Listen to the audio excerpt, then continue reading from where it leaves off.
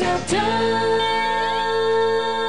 Hey, welcome back. It's time for another Dueling Excel podcast. I'm Bill Jelen from Mr. Excel. We'll be joined by Mike Girvin from Excel is Fun. This is our episode 160. My title is Mike Wins the Point, also known as Confusing Array Formula. Oh my gosh, Mike, this is crazy. This question sent in from Sweden. Joseph T wants to sum an array of cells N2 to U235, but he only wants the negative values from here, and he only wants the values from a row if, if the criteria over here matches uh, the number 12 in um, B15. And I'm like, you've got to be kidding me. All right, so I'm going to just do this the long, uh, hard way. So equal sum if this range, comma, is less than 0, which would give me all of the negatives, right? Yeah, so negative 3, I copy that down. So it's just summing the, the negative numbers. So minus 3, minus 4, minus 5, minus 9. That's working.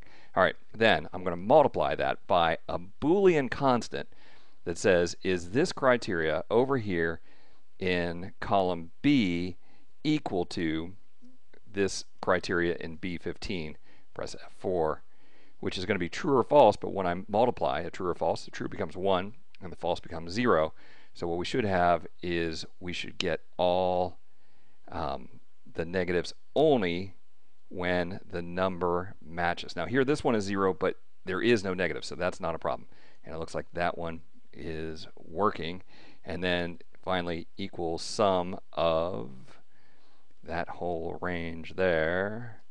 Well, I know when we run this one through uh, Charles Williams uh, Fast Excel, uh, because I have all of these formulas, intermediate formulas, before I get to that total, it's going to be so much slower to calculate. But Mike, that's uh, that's what I have. That's what I have. Yep. So I'm sure you're going to blow me away with some amazing formula. Uh, let's see it.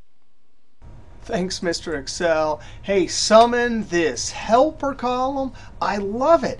Hey, helper columns sometimes are faster than array formulas. Totally, the solution you did here is totally cool. Now, I'm actually going to take uh, straight from Mr. Excel. We had um, this whole data set here compared to the less than 0. And then this whole column over here needs to be compared to that 12. I'll just take those things and slap them into a single cell.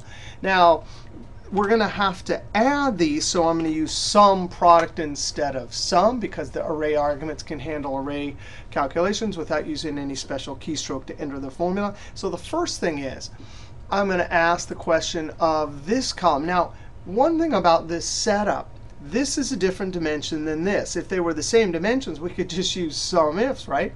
Control Shift down arrow, Control backspace to bring the formula back in view.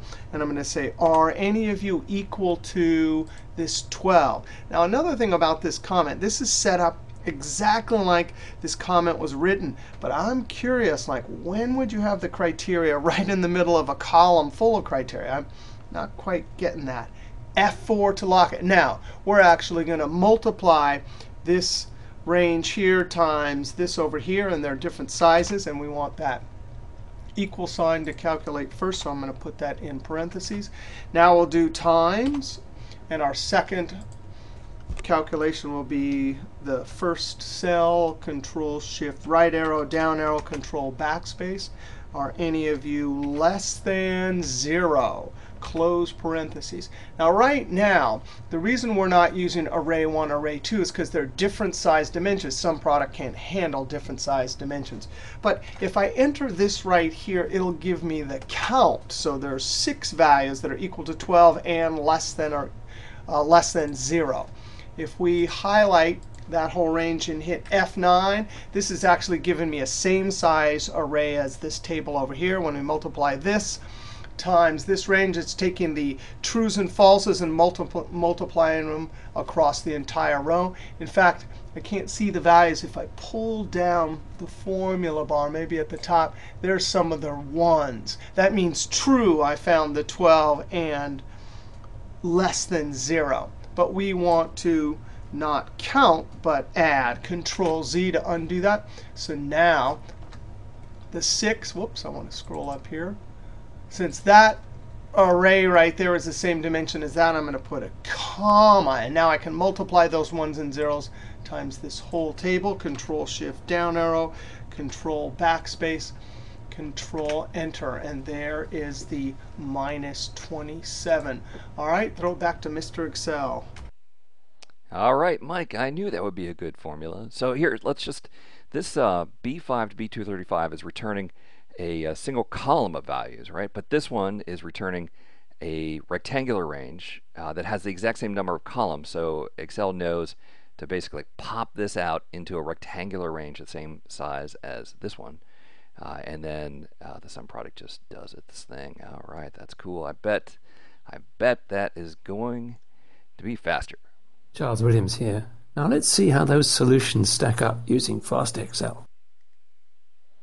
All right, so we'll come back here and start with uh, mine. Now, my formula, in order to be fair here, I have to uh, include all of those uh, all of those helper cells over here, and we have to come back to column E. So we'll select that whole big range and use FastExcel uh, to calc this range, and we're going to do it three times.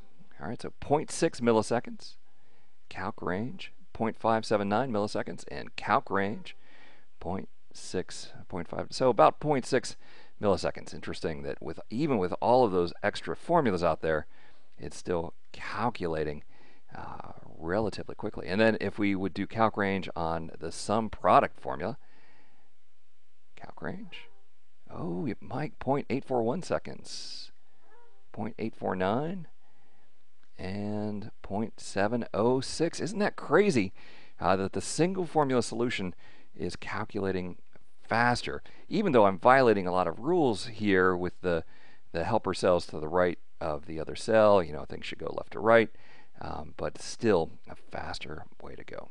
All right, well, hey, I want to thank everyone for stopping by. We'll see you next week for another Dueling Excel podcast from Mr. Excel, and Excel is fun.